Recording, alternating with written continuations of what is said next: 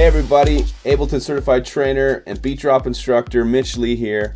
And many times when I open up a session from someone else, it'll be missing samples or files, and you get that dreaded media missing warning down here at the bottom.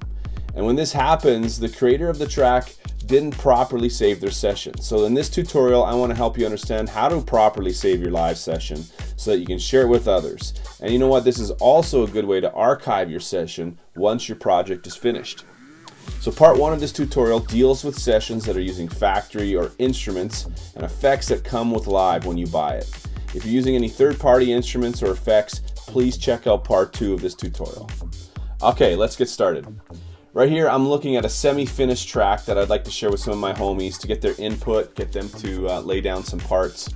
And I've been saving this project as I've been going to make sure I don't um, lose it if something crashes or fails. But in case you haven't yet, go up to File, Save Live Set As, choose where you would like to do it. In this case, I'm on my desktop, and you can see I already have my folder there where I have been saving it.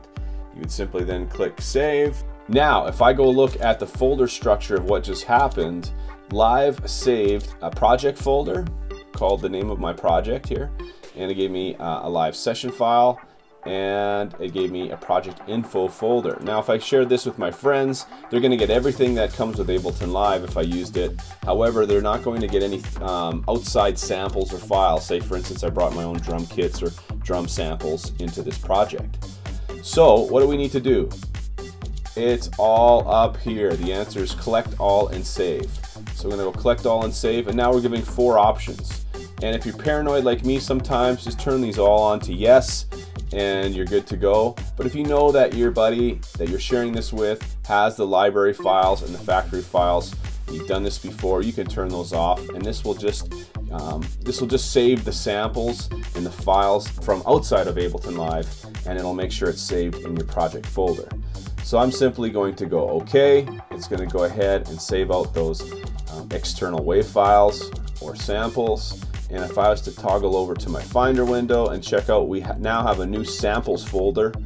And uh, if we look into these folders, you'll notice there's a WAV file and there are our analysis files from those WAV files there. So uh, we're almost there. We're simply gonna go to our project folder and I'm Mac, so I'm gonna just right click and go compress. It makes a zip file. Um, and on a PC, I'm sure you have something similar.